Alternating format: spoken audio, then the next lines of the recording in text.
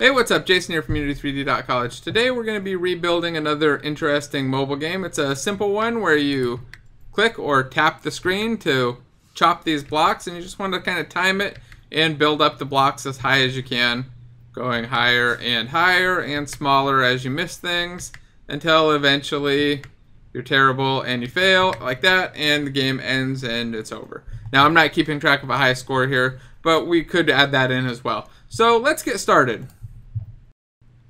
So we're going to start this project off with a nice empty hierarchy, and I'm going to just begin by creating a 3D object that's a cube, and this is just going to be our center part. So remember in the game, you can see this top-down kind of forward view of the cube, and I want my view to kind of actually match what the scene view is showing, not so much what the game view is showing here. So I'm going to grab the, well first let me make sure that cube's at 0, 0. Yep, it is.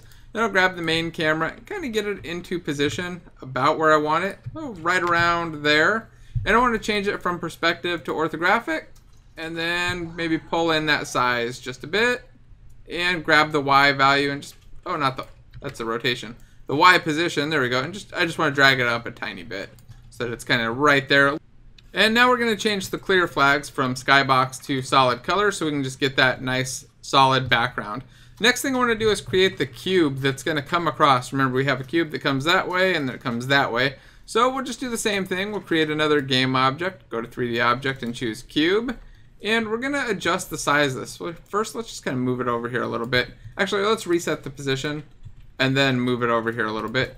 And I want to set the scale here to 0.1 to get it nice and thin. You can see here if I slide it over, it's going to go right through the middle. I actually want to pull it up so that it's going to be right on top.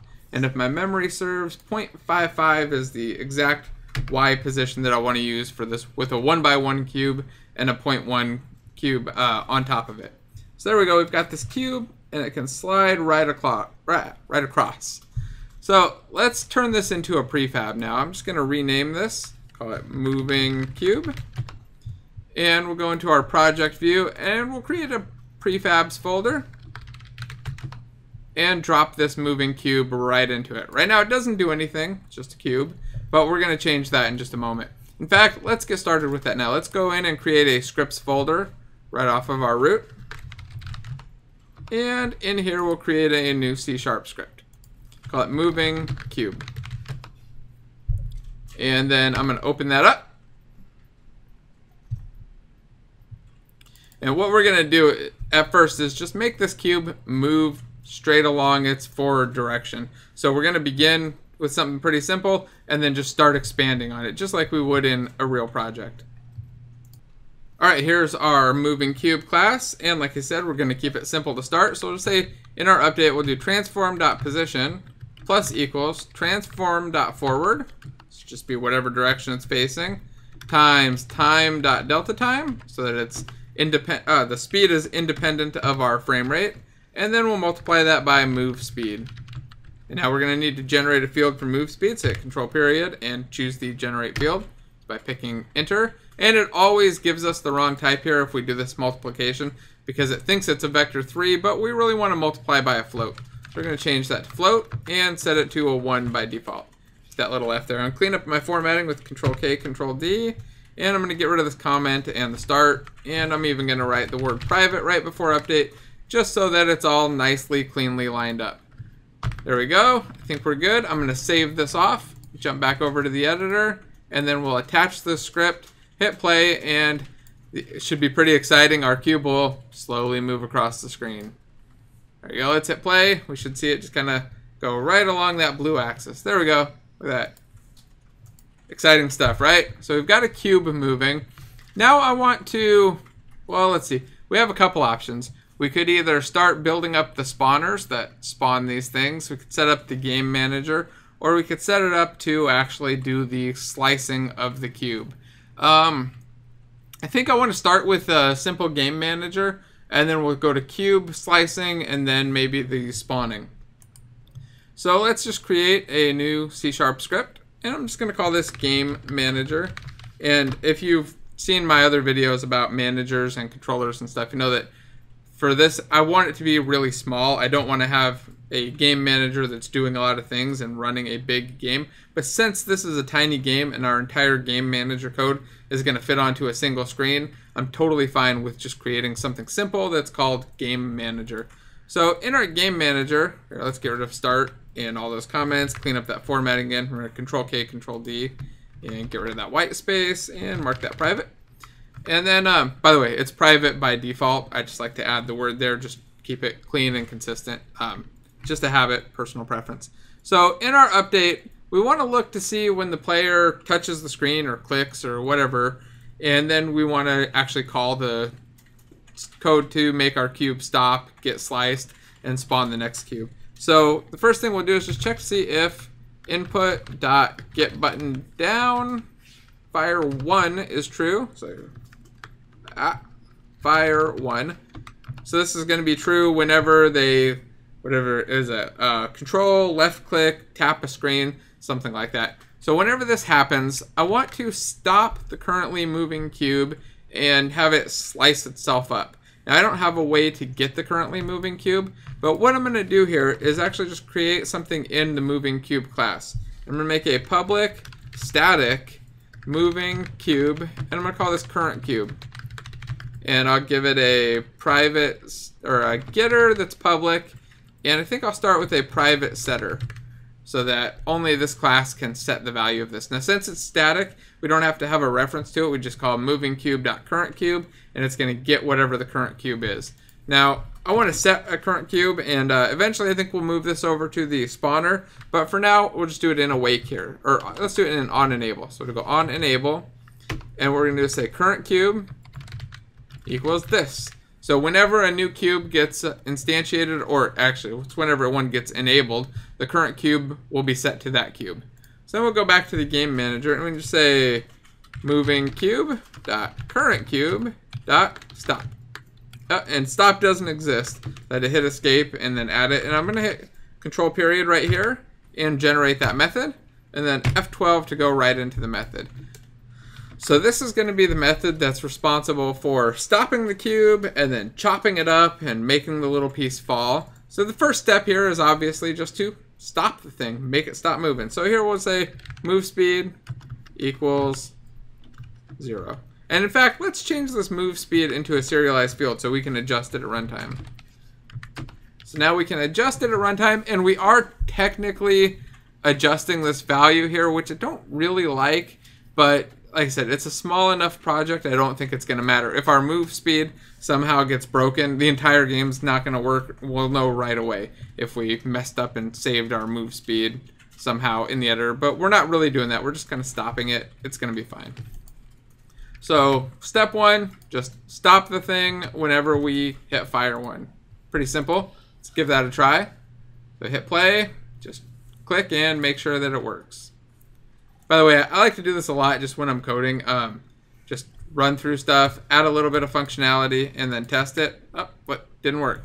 You know why? Because I didn't add a game manager game object. So here we'll create an empty game object, rename it game manager, and then add it on. And this is one of the many reasons that I like to just test along the way. Sometimes, oh here, I'm actually out of habit about to save. So let's create a scenes folder. And in here, we'll just call this game. But anyway, like I was saying, um, I like to test it a lot because if I just keep coding and coding and coding and forget to test, a lot of the times when I go back to actually test it, I get stuck trying to figure out where I went wrong, if something was broken, if it was too far back.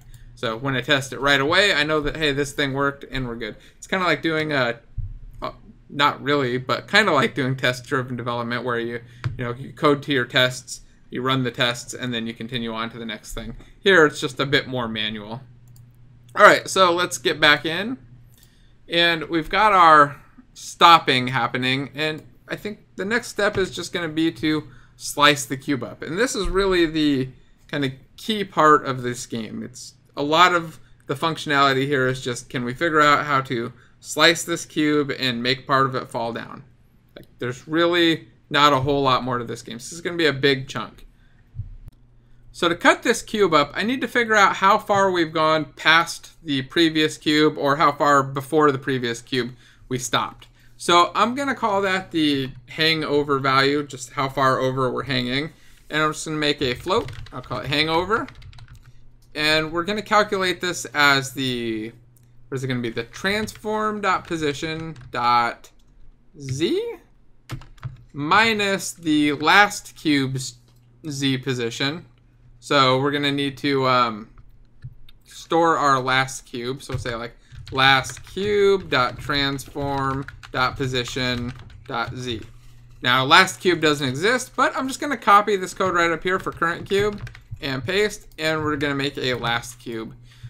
So whenever last cube is set, we'll get that. And I think to start off, our last cube is just going to be the initial cube, this uh, this block right here. So in fact, let's just go to our cube right here. I'm going to rename this start, like our starting cube.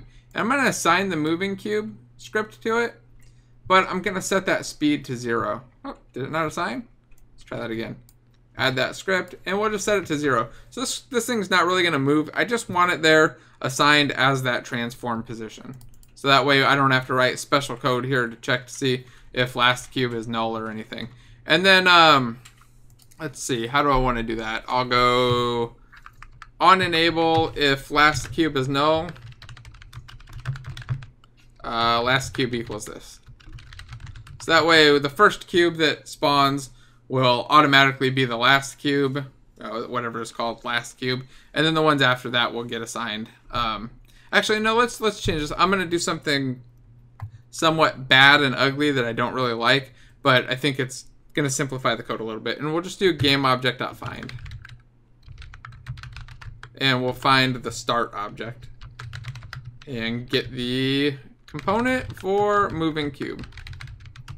Now again, I wouldn't in a bigger project ever use GameObject.find just because it's string based and it causes problems all the time. People rename things, stuff breaks. You can't have more than one of a thing, you know, and find it.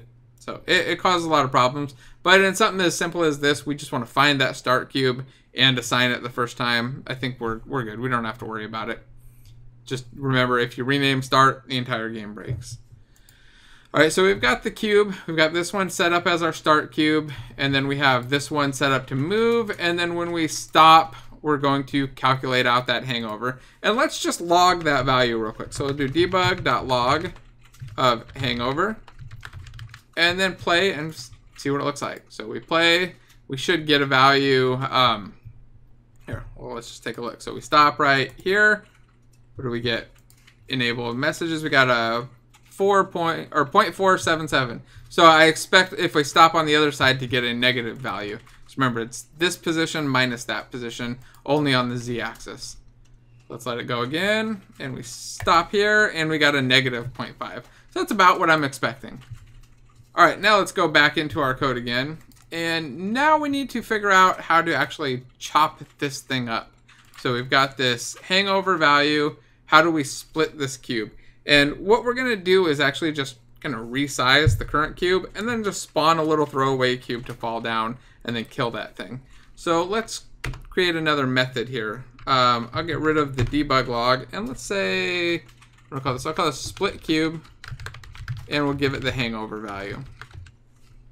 Actually, it's going to be split cube on Z because eventually we're going to need to split on the Z and the X axis. So I want to be able to handle both. So we're just going to make slightly separate methods because it's going to be referencing a lot of like the position.z or scale.z and then back to X for the other one.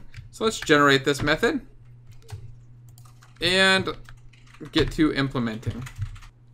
The first thing I want to do in here is calculate out the size of this new split cube. So remember we have this one cube and we're going to split it into two. So I just want to get the size of both of those cubes. So I'm going to say float new z size equals last cube dot transform dot local scale. This is just in case we end up putting this inside some other object. We want to use that local scale. We'll use the z value and we're going to subtract math f dot absolute. So we're going to get the absolute value of the hangover here. So if it's negative, we'll get a positive value there. If it's positive, we'll get a positive value. So this is going to give me the z size. And then I want to get the size of this block that's going to fall off as well. So let's say float falling block size.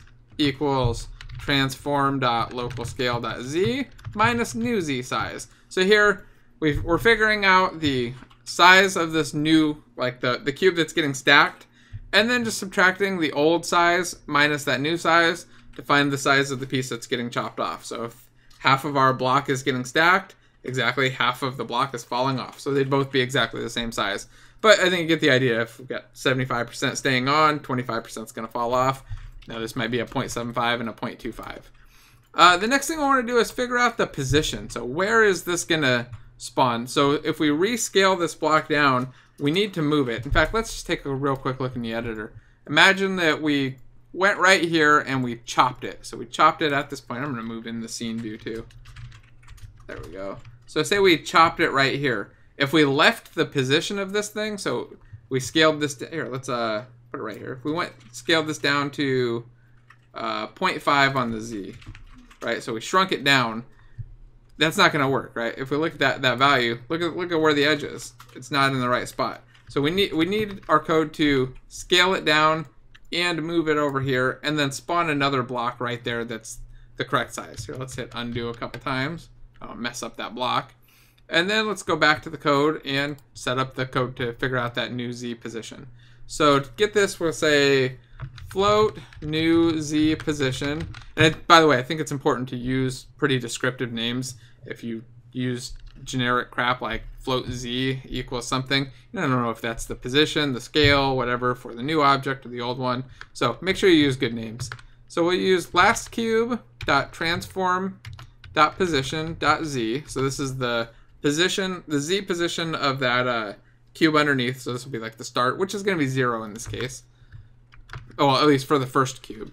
And then we're going to add the hangover value divided by 2. Okay, so that should get us right in the correct position, but we need to also set our scale. So we've figured out our new scale, this new z size, but we need to actually set it. So let's say transform.local scale equals a new vector 3, and we're going to use our transform.local scale.x because we don't want to change the x. We don't want to change the y either, so we do transform.localscale.y. and then we use new z size for the z value. This is going to rescale our transform down, and then we'll put it in the correct position. For the position, we'll say transform.position equals a new vector 3, and again, we'll use transform.position.x, then transform.position.y, because we don't want to change either of those. And then we'll use our new z position. So if we save that off and we go back into the editor, we should be able to stop our cube right on top of there and have it kind of get chopped. There we go, look at that. It works perfect. Now let's go to the other side and see if that works as well. We'll go all the way across and see if it chops right there. There we go. So look at that. We've got a cube already chopping and placing. So we've got that part done. Let's go over and get the uh, falling part done now. Let's reopen our script. And, um, well, to get the falling part, I want to figure out where the edges that we're using, if we're like all the way on one edge or the other. And then we're going to spawn the block over there. And to do that, I think we'll just create a new cube, make it match the color or something, and then just drop it right down. So to do that, I'm going to say float cube edge it's going to get us that edge position equals transform.position.z plus new size divided by 2. This will be half of that size of the, the new size because we're going to get that edge position and then bounce out from there. And then um, I think that's it. Eventually we're going to need to pull in some directional stuff so that we can go X and Z, but I think we're okay with that for now. And then uh, we want to calculate out that falling block position. So let's say float falling block z position equals our cube edge plus the falling block z size. Falling block size. I should call it z size. Oh, we'll call it size. Uh, divided by 2 times, um, actually, it's divided by 2. And then I think that's it. No. That's all we need to get that position, and then we need to actually do the spawning. So let's see, to spawn our cube,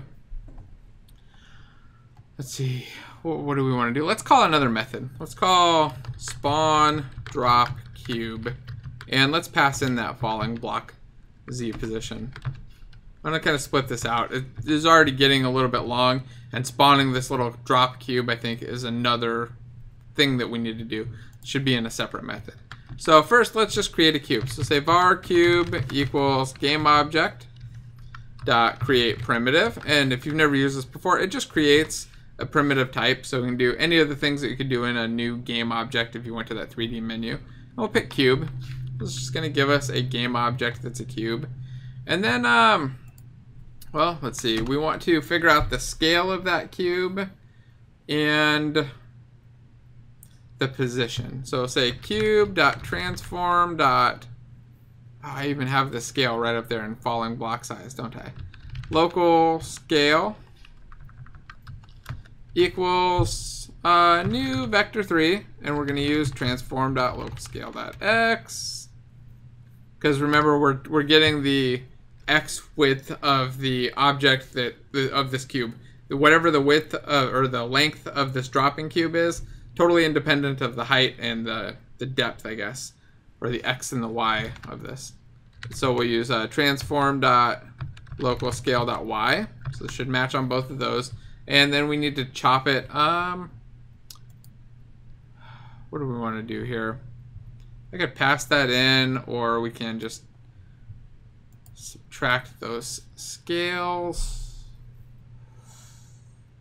Yeah, let's just pass it in. So falling block size. May as well. We're already calculating it. Um, we're using it for the position. Um, just trying to think.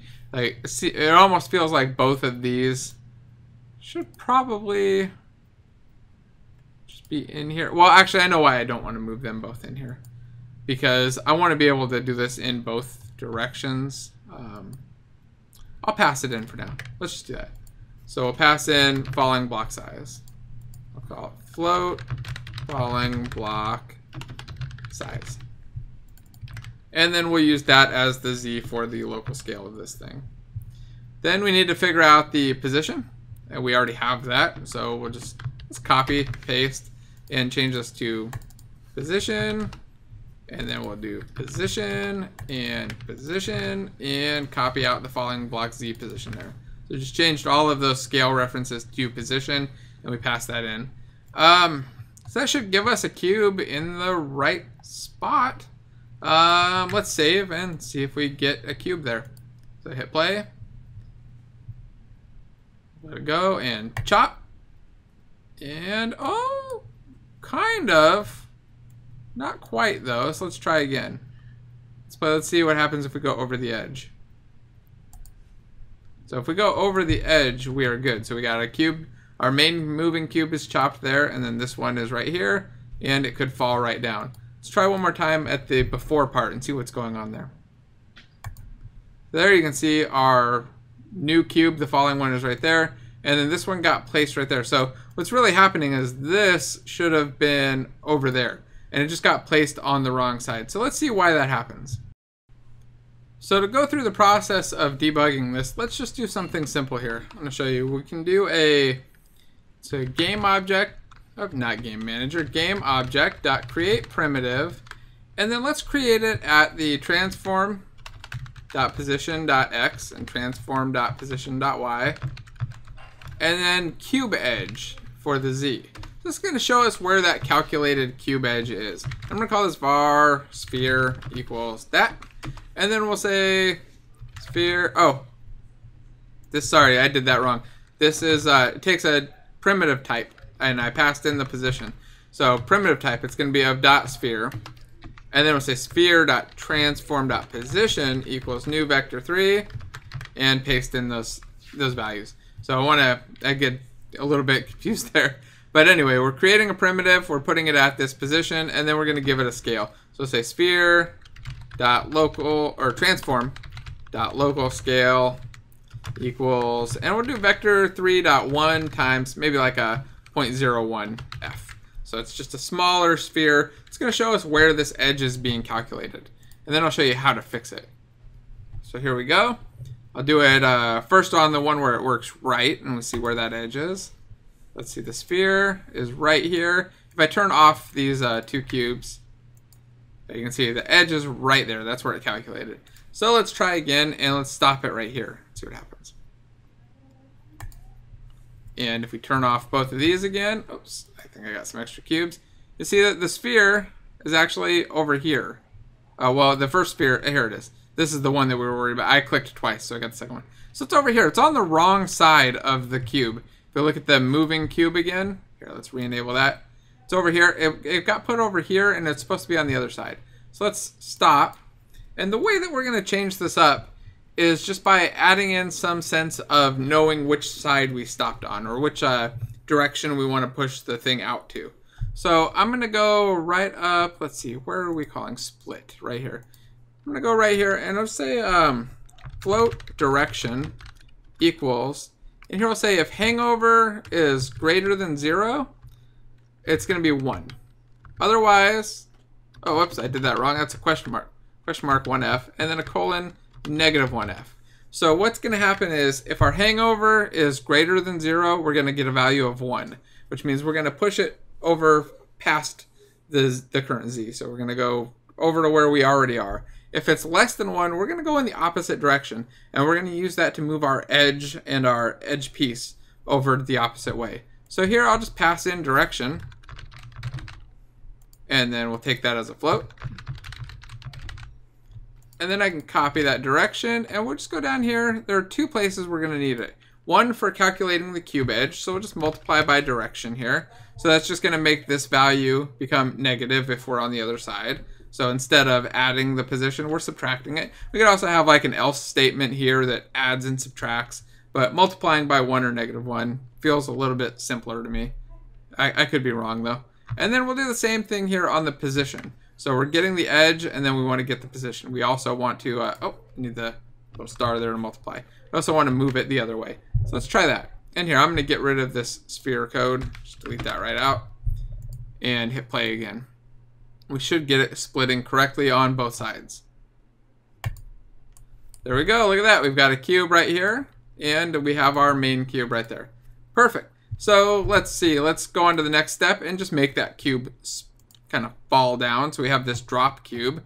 So to make it fall, we could we could be spawning a prefab and putting it all there, but this is a pretty simple game and a pretty simple project. So I think what we'll do is just say cube dot add component rigid body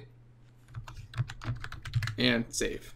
And then let's make it destroy the cube too. So let's say destroy cube dot game object. Very important that we do the dot game object. Um, and then give it a time. So 1F.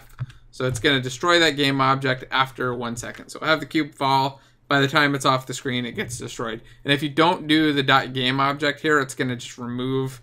Um, well, actually, here it, it is a game object. It's not going to matter at all I'm so used to doing this with scripts. We could do cube, but we'll just do game object out of habit to make sure. Because sometimes if you do it with a script and it's uh, not the game object that you're referencing, you'll end up just removing the script from the object and not destroying the thing. Okay, so let's play and see if our little cube falls down. I'll go to the end right here. Go, bam, falls right down, goes tumbling. You may have noticed it went kind of rolling around. Uh, the reason for that is we have colliders on our cube and our start. So I'm going to actually turn those off. So I'm just going to uncheck the box collider uncheck the box collider there and save and now it should just kind of fall straight down there's nothing for it to interact with and we don't need colliders here we don't need anything for it to interact with that's exactly the behavior we want. Let's try it once on the other side. And perfect. Now before we go spawning other cubes I want to add a little bit of color here. So I'm going to go back into that moving script and I think I'll just do it right in on enable. And we're just going to set the color of this thing to a random color and then make that little falling cube a match as well. So here I'll just say get component renderer dot material dot color because these are really simple objects that have a single solid color equals and I'm just going to call this a get random color. We're going to make a new method here. You'll hit control period and generate that method. And then we need to return back a random color. So to do that, we'll say return new color, and we're going to go unity engine dot random dot range 0 comma 1f and make sure you have the f there otherwise you're going to end up with all zeros or all ones and it's going to be a black and white grayish mess So you want to have that F right in there. And I'm going to just copy that. Unity engine.random.range 0 to 1 and paste it two more times with commas in between. And now we have a random color. If you want to pick like a set number of colors or set thing of colors, you'd always do like an array with an editor and then have it randomly pick one of those or cycle through them or something. But I think a random color is perfectly fine. Then I'm going to copy this, this get component renderer color part, because I want to do that in the uh, spawn drop cube. I want to do right down here, we're going to paste and say cube.getComponent.renderer.material.color equals, and I'm going to copy that again. There.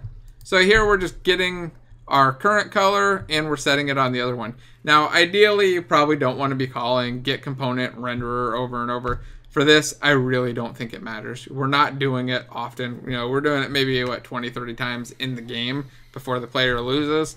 Not going to matter at all. Zero performance problems there. Um, like I said, you don't want to call get component all the time. You don't want to call add component all the time. But for this, yeah, don't waste your time trying to optimize that. So let's see. Let's see how that works. Let's hit play, and we should get some random color cubes. There we go. Look at that and we chop it and it falls perfect. And notice that the start cube is changing randomly too. That's because we're using the moving cube script on there. We go. Bam, look at that. Beautiful. Now that we have one cube splitting and breaking apart, let's uh, set up our spawner so that we can actually spawn multiple cubes and just have them keep chopping off. So to do that, let's take our moving cube. I'm going to create an empty game object under there and just pull it out. And I'm going to rename that spawner. And I'll name it spawner Z. This is the one that's going to get chopped on the Z axis. And then, let's see, I think I want to create a script. So we'll go ahead and create a new C-sharp script. Let's call this cube spawner. And then we'll assign that to spawner Z before we open it up. There we go. Just attach up. Oh, if I can select things right, attach that right there, and then open it. That's just so I don't run it again later and forget that no. Okay, why doesn't this work? Okay, so we don't need a start or an update, I don't think. Um, we do need a reference to a prefab, though. So let's add a private moving cube. I'll call this cube prefab. And we're going to add the serialized field attribute so it shows up in the editor. And then I want to add a public method called public void uh, spawn cube. So to do that, we'll say var cube equals instantiate cube prefab.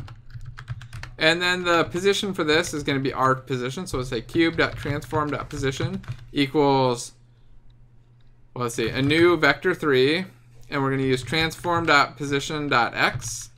Transform, uh, let's go new line. And we'll say, well, for our y, what do we want to use? We really want to use the position of the last cube that was spawned plus 0.1 or whatever the height of that cube is. So I'm going to say moving cube dot last cube dot position or dot transform dot position dot y plus and then here I could do something like 0.1 or I could just do um see what would I use I'd use the prefab so use like the cube prefab dot transform dot local scale dot y. So here we're going to move it up by 0.1 or whatever the size of that prefab is. And not hard coding it is a little bit better because then if we adjust the size of this, it'll still work. We don't have to go in and change the code. And then for the z, we'll just use transform dot position. Whoops. Dot position dot z. And get rid of that. So this is going to give us the correct position. It's essentially just moving the cube to line up with us and raising it up above whatever the, the previous cube was at. Let's see. Um, what else do we need in here? Is there anything else? I don't think so. I think that's it. Uh, let's add a gizmo drawing though. Let's say uh, on draw gizmos, and I'm gonna say gizmos dot color equals color dot green. And here we'll do gizmos dot draw wire cube. We'll do it at our transform dot position plus or not plus comma vector three dot uh, actually, no. Let's use trans uh, cube transform or cube prefab dot transform dot local scale. So that way the size of it matches our prefab and the position matches uh, where this thing is. Because our cube spawner doesn't have a model on it, we just want to be able to see it in the editor. And adding an on draw gizmos is a really simple way to do that. So let's see, let's save that off. And then come back over here to our spawner and we should start to see a green box around it. Uh, let's apply the prefab for the moving cube. Remember we created the prefab in the prefabs folder. Just want to apply it, make sure that everything matches, and then I'm going to disable it. And, oh, we have an error message. What's the error? Is that clear? Oh, okay. So if we look at our spawner, our cube prefab isn't assigned, so our onDraw gizmos is throwing an error. So here we go. I've got the spawner selected. We'll go to project view and just assign the moving cube, and suddenly our gizmos are working. So now we see where it's going to spawn them.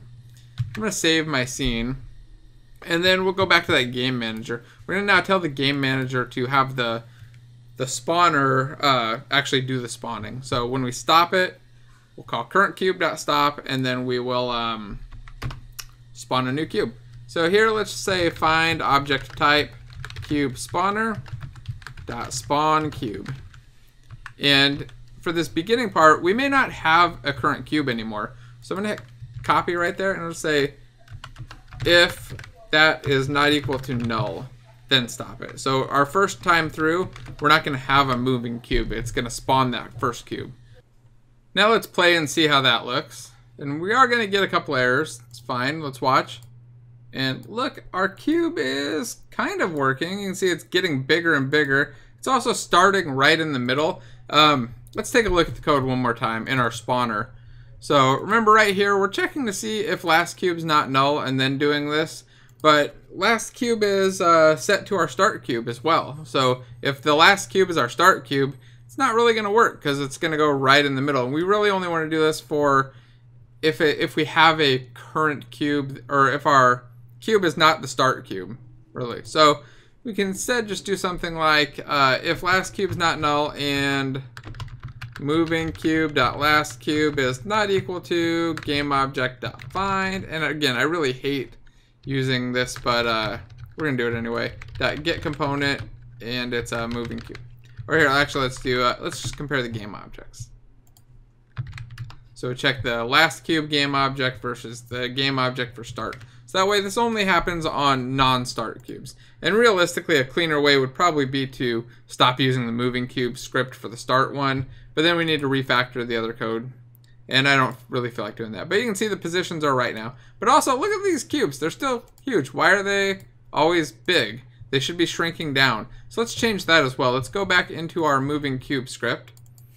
And then we can do this probably just in the on enable. Let's just change our scale here. So say transform.local scale. And we're going to set it to... Um, actually, yeah, just our last cube's local scale, right? So say last cube dot transform dot local scale. So this would be whatever the cube that was chopped. We're gonna just gonna copy its scale. So let's try that. To play. And we come in. Oh wait.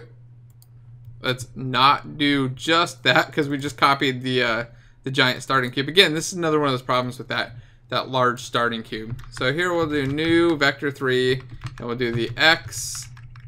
Um, and then comma y, but we'll get rid of the last cube, so we'll just use our own y value. There we go. Make sure you change the, the y, and then we'll change the, put the z for the last cube. So we'll copy the x and z, we'll keep our y. Now I'm convinced if I was doing this as a bigger project, this would not be a moving cube. There we go, we chop it, and look, our blocks are getting smaller and smaller. We can stack them, and they fall. But if I click way out here on nothing, we don't lose yet. So let's change that as well. Let's go into our moving cube. And then I think right here in our hangover code, we could do a check to see if we're too far over. And if we are, we'll just end the game and maybe reload the scene. To kill our player, we could just do it right here. So right when we stop, if the hangover is too large, I think that's enough to just know that game's over. So we'll say if the mathf.absolute, which just remember gets the absolute value, so if it's negative, it'll become positive, of hangover is greater than or equal to, oops, that in the right position, the last cube dot transform dot local scale dot, oh, not local angle, uh, local scale dot z.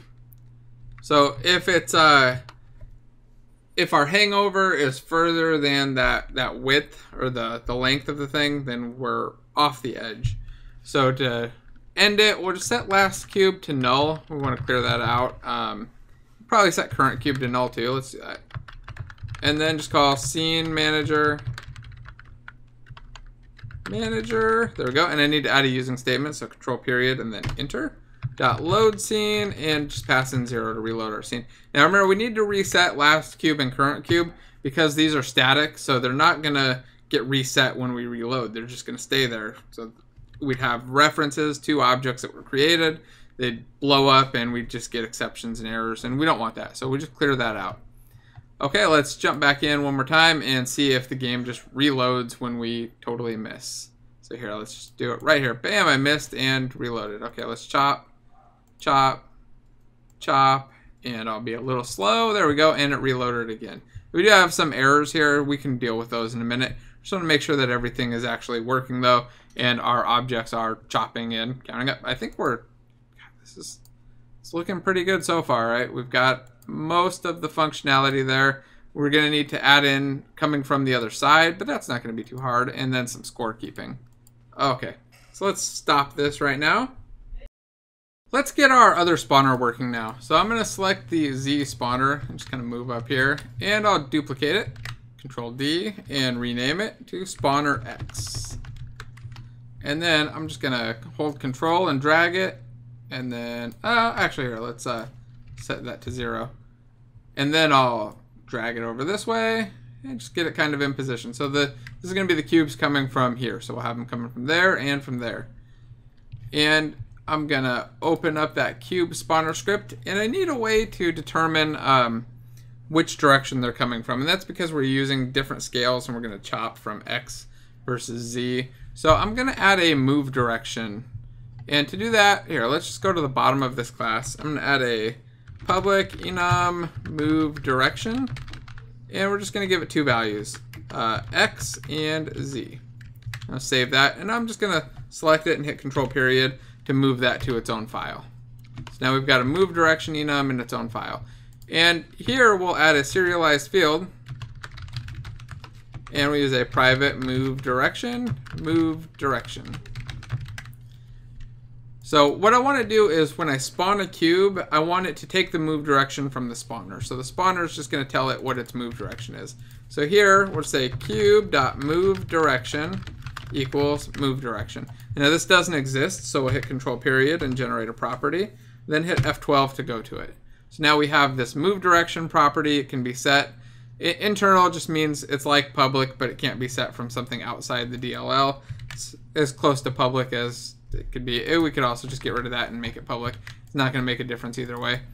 So we've got a move direction here, and we're going to need to take advantage of that. So let's just start by making it move in the correct direction. So let's go down to update. So for our update, if our move direction is Z, this is perfect, right? So say if uh, move direction equals dot Z, then we want to move into the forward position. And then I'm going to say else since we only have two options, we know that it's in X.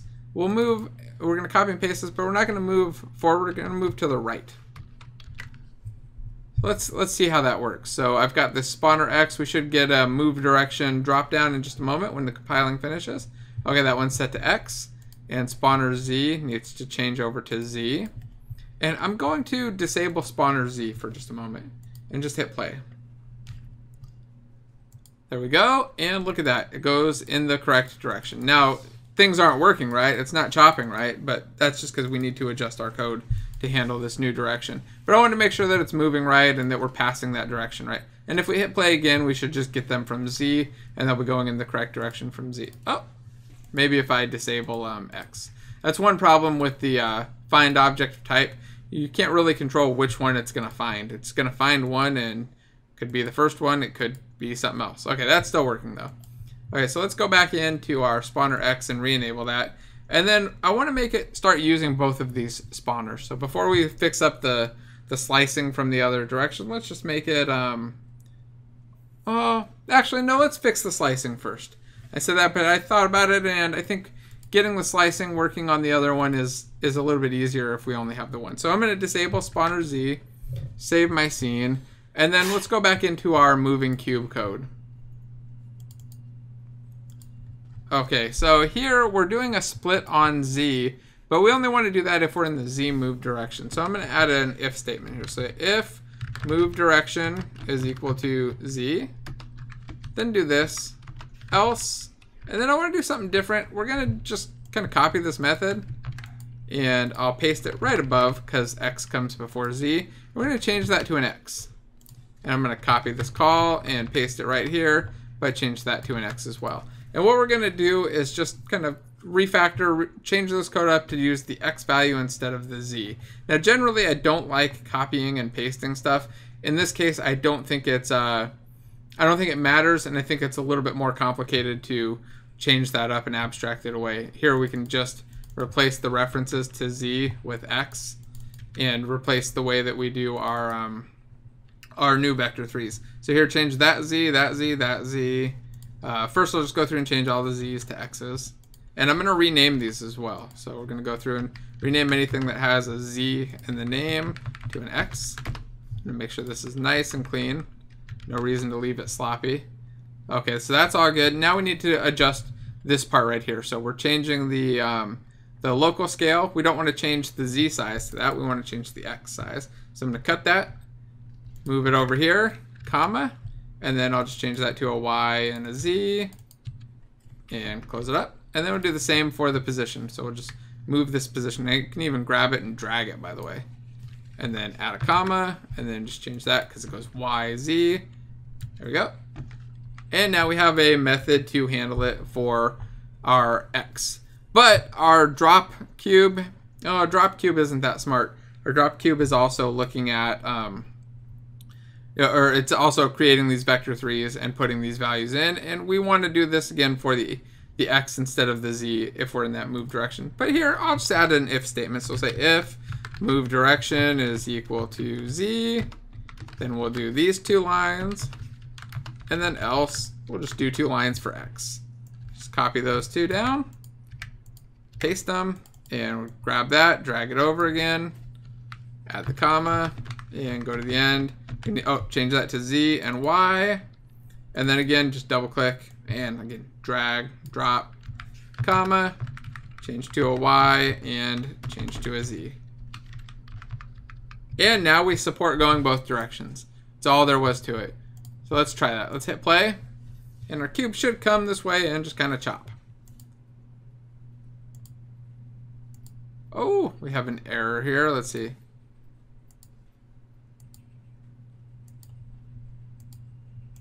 Let's take a look. So all of our cubes are perfectly sized. Let's see what's causing that.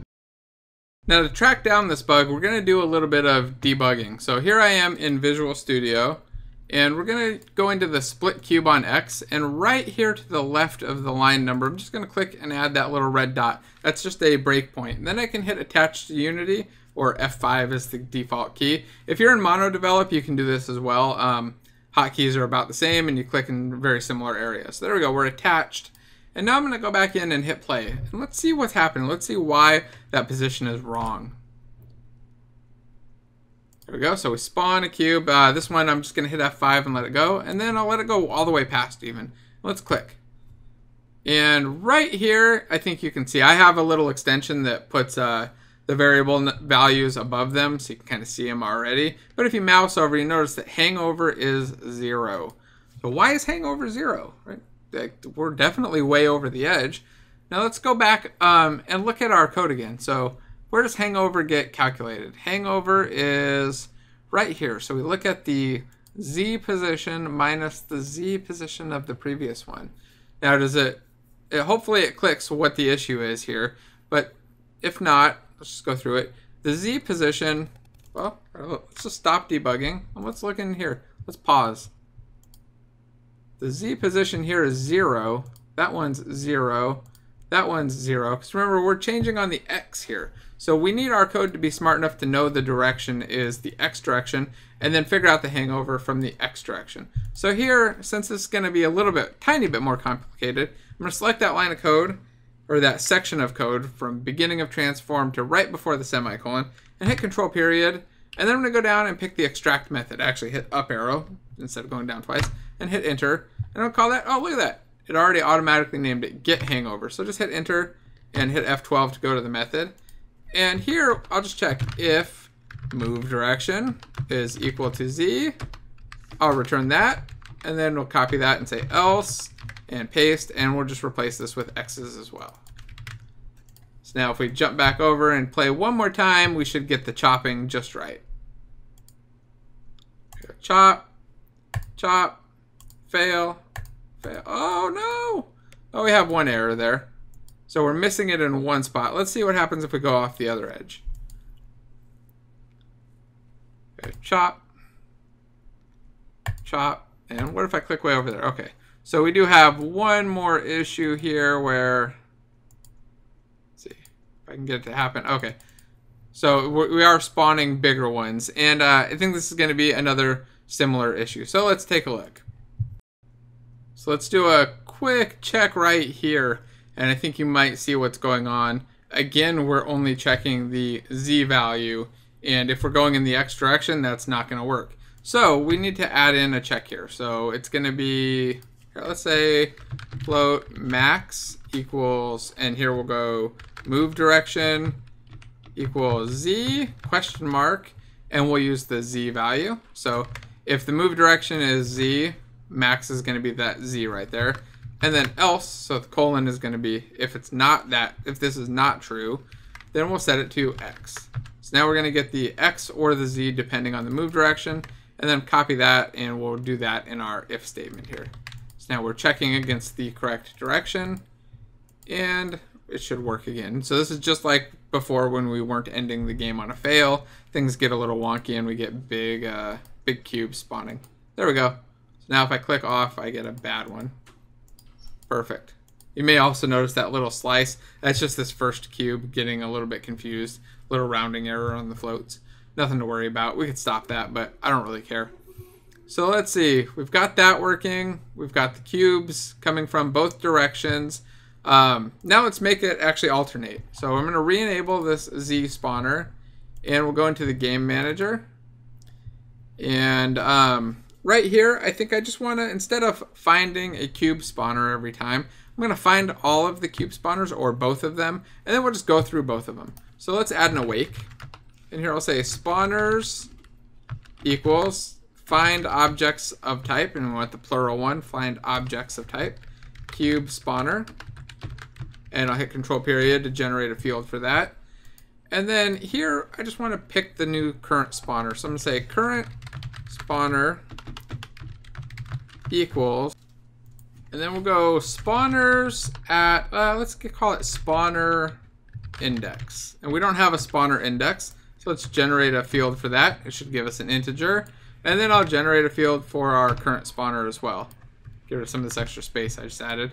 And then for our spawner index, it's going to be equal to the opposite of what it was previously. So we'll say spawner index equals, and they'll say spawner index double equals zero, question mark one, colon, zero. So here we're just kind of flipping between the two. Oh, I need a semicolon. We're flipping between the two. So first time through, we click. Going to say, hey, spawner index is zero, so we're going to change it to one. Next time through, it's not going to be equal to zero, so it's going to change to zero. And just going to kind of flip back and forth. And then, um, yeah, maybe, oh, I don't want to do it right there right here. Yeah, right here, we'll just say current spawner dot spawn cube. So now we should be alternating between the two spawners. Let's try that out. Go back in, hit play one more time. And there we go, we get a cube coming this way, and a cube coming that way, and a cube coming this way, and a cube coming that way, and that way. And you see, we're almost there. We're stacking up. The only problem now is that our positions are not quite right. We're getting the right size, but we want these to stack up um, in a set spot. We don't want this little weird overlap going on. So let's change that. And I believe we're going to do that in our moving cube. We're just going to make it spawn at the correct scale. So let's see, where are we doing our scale? Right here. So we're doing last cube dot transform dot x and y. Oh, okay. So we've got the scale right. We just need to fix that position. I don't know why I said scale when I meant position. So let's take a look. That is actually in our cube spawner where we spawn these. So here we're doing it at transform.position.x and transform.position.z. And this needs to be a little bit more intelligent because we want to keep um, the current either z or x depending on which one it is. And then we want to replace it with uh, the other one on the opposite. I don't know if that made any sense at all. Hopefully this code makes a little bit more sense. So let's just get to writing. Here, let's create two floats. We'll do a float x equals, and then we're set to move direction double equals x. So if our move direction is x, we want to use transform.position.x. So we want to use our x position. Otherwise, we're going to use our moving cube dot last cube dot transform dot position dot x. So if we're on the the z one, we just want to copy the x position from the x spawner. And then we're going to do the inverse on the Z spawner. So here, copy that, and we'll make a Z. Just replace all these instances of X with Z. And then here, we can just pass in X and Z. So now we're calculating out the correct X and Z values. Let's go back in and play one more time. I think after this, we're just about done. Just adding some, some score. There we go. We chop it. We chop it chop it. Let's go maybe do a little overhang, chop, yep, chop, and fail. Perfect. So you can see everything is just kind of working. Uh, the last thing I want to do is just add in a score. Um, to do that, I always use Text Mesh Pro. So I'm going to go to Window and Package Manager. If you're in a newer version of Unity, 2018, I think it's 0.1 and beyond, has the Package Manager version of Text Mesh Pro. So open up the Packages window, go to All, and then scroll down and pick Text Mesh Pro. Oh, I actually already have it installed. Um, if you don't, then go ahead and do the install for it. And then it's going to pop up and ask to do the, um, let's see, see if it pops up again. Go to UI, Text Mesh Pro Text. Yep, it should pop up and ask you to do the import for the resources. And just import that as well. That's just some stuff that has to be in the assets folder. There we go. Stop that. And now we've got a text right here. I'm going to select the rect transform tool and I want to do a stretch along the top. So hold Alt and Shift, select that. And then I want to center my text right here. And I'm just going to say click to play. And then I want one more script that's a UI score script. So let's create a new C sharp script. And I'm going to call this um, score text. So I'm going to rename this object. Let's rename it to text mesh pro text. Nope. You're now, there we go, score text. We'll assign that script. And once it's on there, let's collapse that. Let's try getting that on there again. There we go. And then we'll open it up. And in here, um, let's see, I don't want to do anything in update. I want to clean up that formatting. And I'm going to add the word private here, just out of habit. What I want to do is just register for something in the game manager. So I'll say like uh, game manager dot on cube spawned. And I don't have an event for this yet, so I'm going to copy that, go over to the game manager. I'm going to add a public static event action. And we add a using statement for action to add that using system. And it's going to be called on cube spawned. I'm going to assign it an empty delegate. Uh, this is just out of habit. Really don't need to do that, but it stops null reference exceptions. And it's just a big habit of mine. I always do that. So we've got an event here that's static that we can register for. And I'm to, right after update, um, after we spawn the cube and update, I'm just to call on cube spawn. And again, this is why I assigned that empty delegate, just so I don't have to do a null check there. It doesn't really matter. You could do it the other way, but have it. So here we've got this on cube spawned now. I'm to do plus equals and hit tab and then hit enter. So it's to call whenever a cube is spawned. And here I'll just increment my score. So there's score plus plus, and I'll generate a field for that. It's to know it's an integer. Added the plus plus there. And then I'll say, um, oh, let's let's cache our text mesh pro text. Let's say text equals get component and tm pro dot ugu.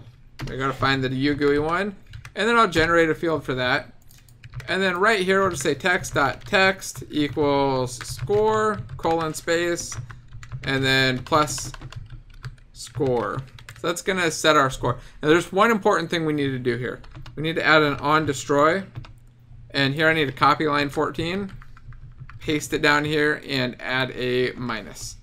Oops, not a star, a minus. And that's just so that when this level reloads, we don't double register for this event. It wouldn't matter. Well, it would kind of matter because our score would be getting updated multiple times. So our score would keep going. Actually, no, we'd get null reference exceptions because this score text object would be destroyed. On cube spawned would trigger and it would try to call into a method on a destroyed object and we'd get a null reference exception. So we want to make sure that we clear that out.